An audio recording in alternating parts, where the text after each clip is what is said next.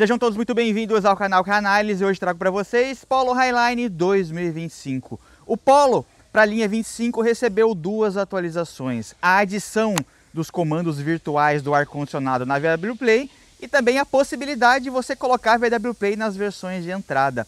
O preço da versão Highline parte de 120 e 400. Aqui na frente a versão Highline conta com acabamento diferenciado, com apliques em cromado, que vão estar presentes na parte de baixo do para-choque, detalhe de grade e no acabamento interno do farol, inclusive 100% em LEDs de série em todas as versões. Outro item legal é que ele traz o sensor de instrumento dianteiro e traseiro, mas não traz o ACC. De perfil, o Polo Highline conta com rodas 16 polegadas, chave de presença, mas sofreu um downgrade desde o facelift. Antes ele tinha roda 17, freio a disco nas quatro rodas, manteve repetidor, mas não tem mais o rebatimento, acabamento fosco na área envidraçada, anteninha flexível, um pequeno spoiler e as lanternas têm esse acabamento escurecido que é um padrão em todas as versões tirando a GTS. O primeiro ponto negativo do Polo é ele não trazer um botão exclusivo para fazer a abertura do porta-malas diretamente aqui sem precisar da chave ou do botão do painel. Isso acontece com o Onix também, principalmente quando você está com as mãos ocupadas ou um dia de chuva que você quer uma agilidade maior, acaba sendo um problema.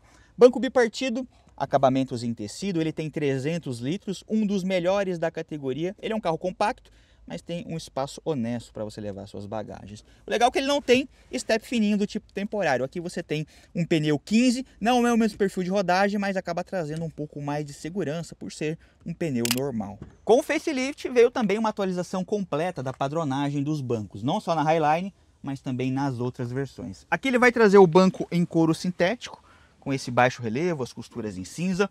É um banco bem confortável, ele tem uma boa inclinação. E o legal é que ele tem esses apoios aqui de lombar que deixa você bem encaixado. Espaço para cabeça de três dedos, iluminação, que facilita para você colocar a cadeirinha de bebê no Isofix, encosto de cabeça individual. Não pode faltar um item muito importante que não é tão comum nessa categoria, saída de ar traseiro e duas portinhas USB. Já do tipo C e de carregamento rápido. Aqui na segunda fileira, o espaço para as pernas ele é equilibrado. Ele não é o mais espaçoso da categoria, eu acho que o HB20 cumpre esse papel um pouco melhor, mas também ele não é aquele carro lata de sardinha. O 208 é bem complicado na segunda fileira para uma pessoa com uma estatura maior. Ele tem 256 de entre-eixos, ele traz aqui dois dedos para o joelho, eu tenho 1,78m. Não só a padronagem do banco mudou, mas o estilo, tá pessoal? Agora ele tem o banco inteiriço, muitos gostam, muitos não gostam. Eu gostava do banco anterior, mas não é um banco desconfortável. O túnel, ele é alto, largo, três pessoas vai ficar bem complicado. E ele também tem aquele empecilho do trilho do banco. Se você tem um pé grande, vai ficar pegando na ponta do pé. Acabamento geral aqui é 100% em plástico. Eu acho que a montagem, a estrutura, a ergonomia da peça, ela é boa. Os nichos, mas a gente percebe que a textura ela é um pouco grosseira. Poderia ser um pouquinho melhor. Ali na frente, com o facelift, a gente teve uma atualização positiva. Ele ganhou esse aplique em tecido. Antes era praticamente todo em plástico, tinha só esse courinho, então agora ficou um pouco melhor. Tem o acabamento que combina com a parte central do painel. E como eu disse, o banco é bonito, né, pessoal? Tem boas abas, ele tem quatro airbags, porta-copos, carregamento por indução. A motorização sofreu downgrade em relação ao modelo anterior. Antes ele tinha 128 cavalos, 20 kg de torque. Vocês sabem que a Volkswagen reposicionou o modelo para tentar trazer um custo-benefício melhor e poder encarar de frente os seus rivais tanto que o número de vendas desse carro realmente subiu bastante. Hoje ele figura como um dos líderes de venda, não só no seu segmento, mas também no segmento geral. Aqui ele tem 116 cavalos, 16 kg de torque câmbio automático de 6 velocidades. O consumo dele em relação ao modelo anterior melhorou, mas o comportamento dinâmico dele está um pouco amansado. Não chega a ser insuficiente, porque ele é um motorzinho turbo com injeção direta, mas se você tinha um 128 cavalos, vai perceber que ele está um pouquinho mais lento. Aqui não tem manta acústica.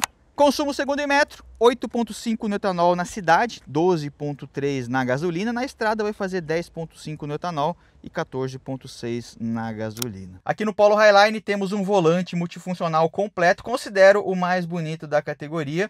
Já traz revestimento em cor, eu acho que a textura desse couro poderia ser um pouquinho mais lisa, mas a ergonomia acaba compensando bastante. Detalhes em cinza, pedal shifts, a disposição dos botões é fácil, você sempre tem aqui as funções na ponta do dedo, ajuste de altura e profundidade, direção elétrica. O console, ele poderia ser um pouco mais largo, principalmente aqui o tamanho do porta-copos, considero insuficiente. Carregamento por indução com acabamento emborrachado, você sabe que a manopla é um pouco mais alta, principalmente quando está no parking, você tem uma certa dificuldade para colocar, mas a posição aqui que o celular fica até que é legal. Uma frenagem, quando você está andando com o carro, ele não vai ficar sambando, escorregando para os lados. Isso é um ponto positivo.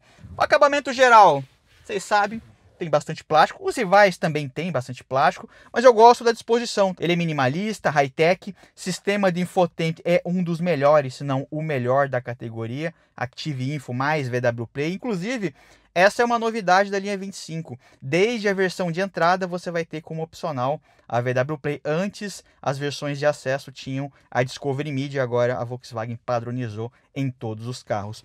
O encosto de braço tem um ajuste para frente e para trás. E aqui temos um pequeno alçapão. Começa aqui a versão Highline, ele vem completinho, né, pessoal? Tem aqui sensor crepuscular, ajuste do faixa do farol, retrovisor fotocrômico, já deveria ter aqui as iluminações em LED aqui o espelhinho dos dois lados. E...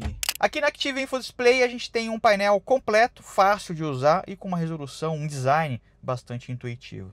Colocando para baixo muita informação, tanto para viagem quanto para o uso urbano.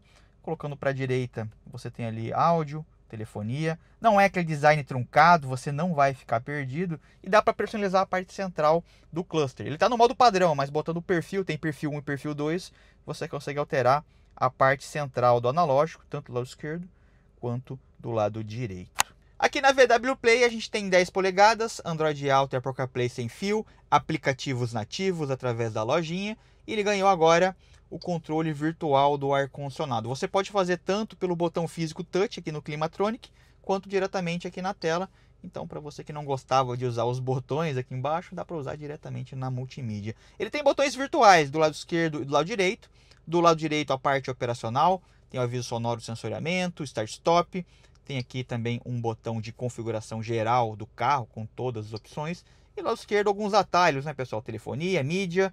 Você consegue aumentar o volume. Eu acho que seria legal se ele tivesse um botão de volume analógico, mas a multimídia, a navegação dela, na minha opinião, é muito boa. Inclusive, aqui nesse menu foi onde eu alterei a parte da Active Info, tá, pessoal? Ó, na parte central ele vai alterando então você consegue ter ali, inclusive, duas opções. Duas pessoas na casa podem ter um painel exclusivo. Pontos negativos do Polo Highline 2025. O primeiro deles não poderia ser outro. O preço é bastante puxado. Ele parte de 120 mil reais com a pintura metálica vai para 122. É um carro que entrega bastante tecnologia, segurança, a construção do carro. Muitos criticam o plástico duro, mas de uma forma geral o carro é muito bom, tá pessoal? A dirigibilidade, a economia, mas sim, ele é um carro que está bastante caro. Não tem carro barato hoje em dia, mas esse aqui está um pouquinho acima. Segundo ponto negativo, qualidade e resolução da câmera de ré. Eu acho que pelo preço do carro, a Volkswagen deveria se esforçar um pouquinho mais e trazer uma nitidez, uma resolução de câmera um pouco melhor. Até porque a VW Play tem uma qualidade de imagem absurda. O Polo Highline traz uma ventoinha bem barulhenta. O que vocês acham? Aqui na frente, o Polo Highline com o facelift teve uma mudança sutil, manteve a identidade, manteve plataforma MQB, mas a gente percebe linhas mais suaves, atualizadas, um pouco inspirada no Golf MK8 vendido lá na Europa, é lógico, é bem diferente, mas as linhas e alguns detalhes lembram um pouco, bem pouco para falar a verdade. Dupla parábola, DRL, não tem mais o farol auxiliar e falta sistema ADAS, pelo menos parcial, um ACC, uma frenagem de emergência. Alguns dos seus rivais já tem esses itens ou alguns dos itens, como por exemplo o HB20 que já tem assistente de faixa e até mesmo a frenagem de emergência.